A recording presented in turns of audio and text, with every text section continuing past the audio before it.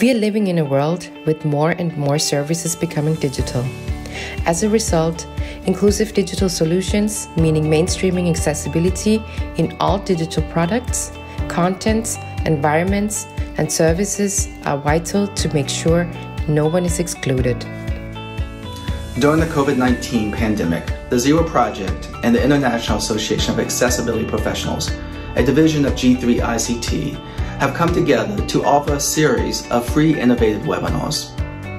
Each of the three webinars will highlight the best practices and solutions that came from the 2020 Zero Project Awards on Education and ICT. Through sharing best practices that are not only global but scalable and either free or at low cost, we are hopeful that solutions can be used to speed up the process of implementing the Convention on the Rights of Persons with Disabilities. We hope you enjoy the series.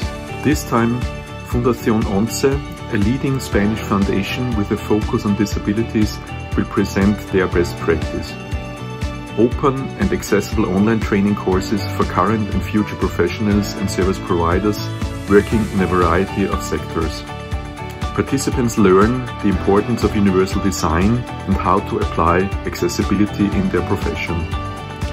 Since the start of the project in 2016, over 800 students have completed courses.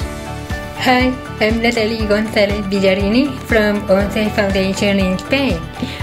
We are very excited to be part of the Innovative Practice in Education webinar and to help promote the importance of accessibility. I hope you join us.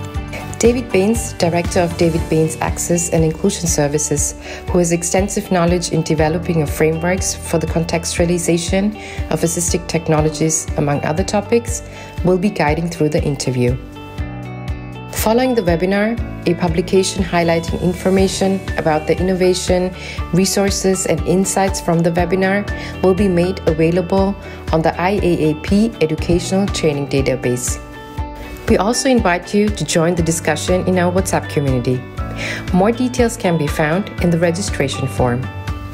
Let's come together and start talking, thinking, and learning about digital access and inclusion. So join us on July 1st at 3 p.m. GMT and learn about best practices that shape the world of inclusivity and make sure no one is left behind.